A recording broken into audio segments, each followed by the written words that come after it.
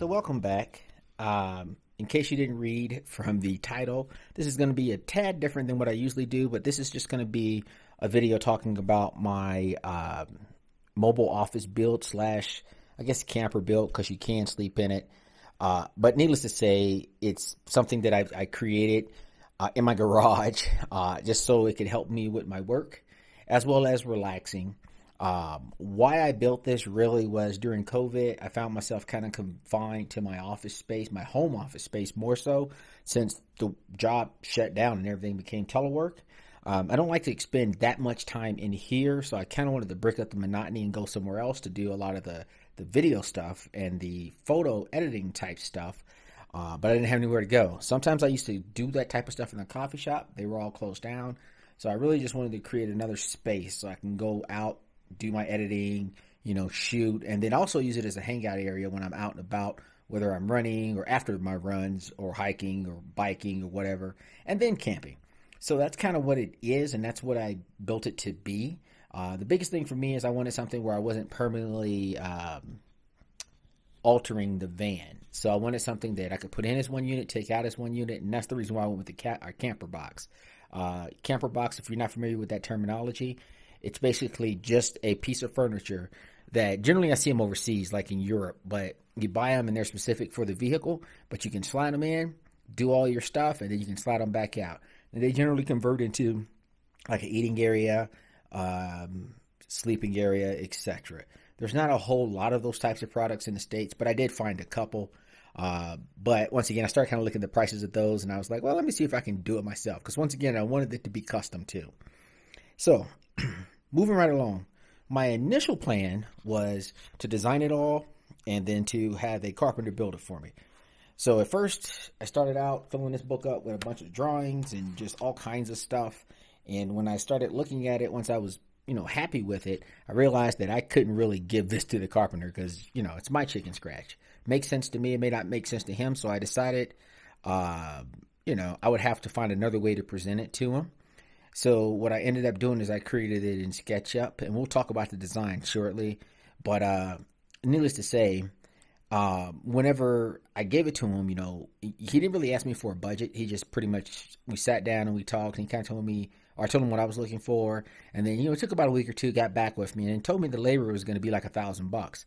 Now keep in mind when I was building this in my mind because I knew what the materials were going to run, I personally didn't want to spend more than like 500 bucks to build everything. And I'm talking about just the woodwork alone, not all the other stuff that I did. Uh, so with a thousand bucks just for the labor, that was already over what I was going to spend, and I still had to go out and get materials. Uh, so I was like, okay, I'm gonna go ahead and try this myself. Now I hadn't d- did like woodwork in ages, you know, like since the '90s in high school. So I knew I was gonna have to take my time and learn a few things, but that was okay. Um, moving right along to the design, what ended up happening was I took my drawings and then I converted them to SketchUp, and that's what I gave to the carpenter. And even when I decided to do it myself, I still use SketchUp somewhat. So I, I have the frame, which by the way, the frame wasn't my idea. It was an individual I was talking to over in a uh, Home Depot, and I mentioned to him what I was doing. And at first, I was just going to get some three quarter inch pine and uh, plywood, and then just kind of basically screw it together. But then I decided, actually, after talking to him, he's like, you know what? A better idea would probably be to just do a frame first, and it would make your life a lot easier. So I did that. I'm glad that I did because it actually did. Uh, and we'll talk about the materials that I use once I get to that section.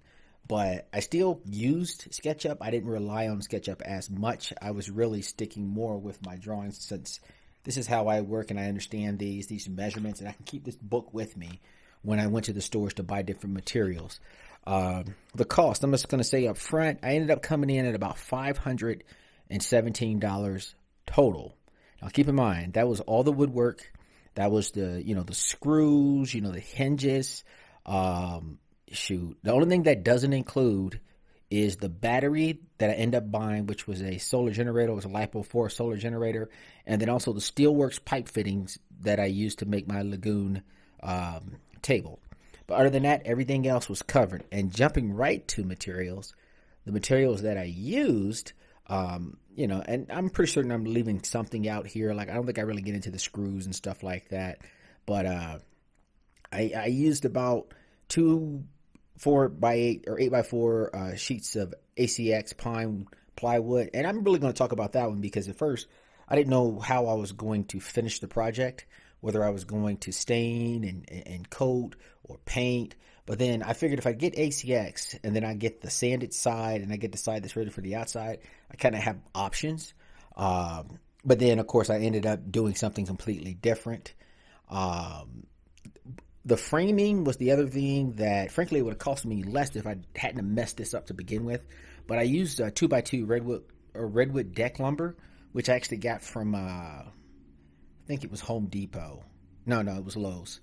Uh, ended up getting like eight of those, and they were more than enough. But like I said, I, I ended up jacking up the measurements in the very beginning, so I had to go get a couple extra like recut. Uh, I bought vinyl uh, taupe fabric, which was actually waterproof, and I bought that for that reason. When I realized that, hey, I don't want to stain this thing, I figured I'd coat the plywood in the vinyl, so that's what I did. Um, d- uh, decorative fabric as well as the foam I actually bought because I made my own cushions. Uh, cushions were really pretty much straightforward, easy to put together. Uh, what I ended up doing is I, I bought some uh, some cheap backing. Uh, paneling really. It's like nine dollars a sheet. I don't think i have that on here but i use that as the backing for the cushions. And then i cut the fabric. Um, i used the fabric uh, oh gosh adhesive spray to attach the fabric to the two inch foam that i actually purchased from amazon. And then i used batting as well just to make sure i'm not wearing the material down.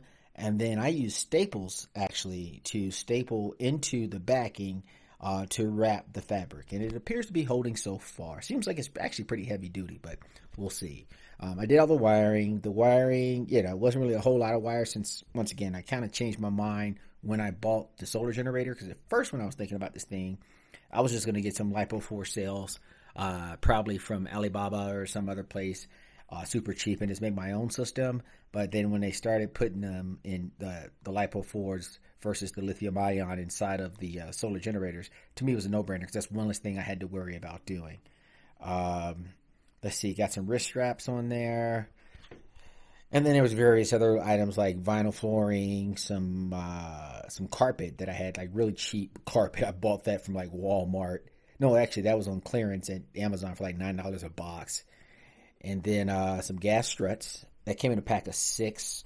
Uh, they hold about 100 newton meters, or they put up about 100 newton meters, uh, or 22 pounds uh, gas struts lift support. So I used that because I knew I was going to be lifting up uh, fairly sizable uh, openings because they are the the like I said three and a quarter inch plywood. So it appears to be working fine. And then on the side of the box, I actually have some spring loaded handles. And that's just so when we take it out, it makes it so much easier to just put it up on a sawhorse when you have something you can grab and you're not jamming your fingers. Uh, as far as tools are concerned, very minimal. I used uh, a jigsaw, a 20 volt drill. Those are the only tools that I really bought for this. Oh, and the electric staple and brad gun. Um, so really cheap here. And then the panel saw at various stores. So if I could get them to cut something so I didn't have to come home and cut it, uh, that's what I would do. So yeah, it worked out fine.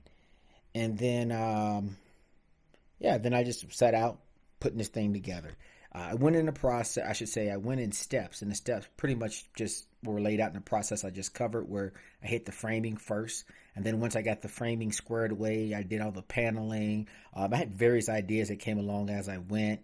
So like things like that Steelworks, the Lagun table, that's something I just had to think of. I actually had an additional attachment towards the, the back that uh, I can take the table out because it's attached with a, a uh, quarter uh, hex or Allen, and I can actually move it so I can have an outside table with that exact same table. Um, and then once again, when I got that finished, the next thing I did was I, I coated it with the vinyl material and then at the same time, I was building my, uh, or I should say, I was doing the cushions inside the house because that was like the dead of winter, so it was super cold. So I tried to move that part inside. Uh, and then finally, the last thing that I did really was the electrical uh, stuff. And like I said, what I ended up doing is I bought the uh, Bibene uh, CN505, which is the Alcatel also branded uh, solar generator, and it's about 614 watt hours. It has all the connections I need, and it runs off the solar panel, which I put in probably like two years ago. Uh, that's on top of my vehicle. Uh, the solar panel, thankfully, is a 100 watt solar panel. The charge rate that I actually get with that device is very close. So I'm seeing right about 90 watts. Um, and then I bought a refrigerator, which is the Indel B uh, TB18 that's in the middle of my second row. So it fits like perfectly. Uh, also, if you look at the back of the second row seats, you'll see some cushions up there. Those cushions were the only thing that I did not make. Uh, the, the ones on the top are uh, just memory foam cushions I ordered off of eBay, and the ones on the bottom are these really cheap uh, kitchen like cushions that I found in Amazon. So those two together actually make the perfect combination. So when I rest my back there, it feels just right. And then uh, inside of the box, I actually have some cutouts because I have the box strapped down to the third row anchors. So the box doesn't go anywhere. I've got like two straps there. Uh, there are little knickknacks and stuff that I put in the box, and I'll probably change it and update it as I go just to see what works, what doesn't work. But so far, I'm pretty happy with it. Uh, I think that's it. So, like I said, made it with uh, a budget of around 500 bucks. Uh, minimal woodworking skills only because I haven't done it in so long, and I did it in my garage uh, with really, in my possession, about three tools. Because I, like I said, the electric the electric staple brad gun. I actually bought that because I had a different hand staple gun and it was terrible. So I bought that one and it was perfect. And then the drill was just a uh, 20 volt uh, Black and Decker drill, nothing fancy, maybe 50 bucks. Uh, the jigsaw was the cheapest Black and Decker jigsaw that they had in the store. It was like $29. So not a whole heck of a lot. Didn't break the bank. And overall, I think it came out pretty good. So if you have any questions, feel free, leave them down below. Uh, click like, subscribe, and I think that's it. So Agent Fitz signing out.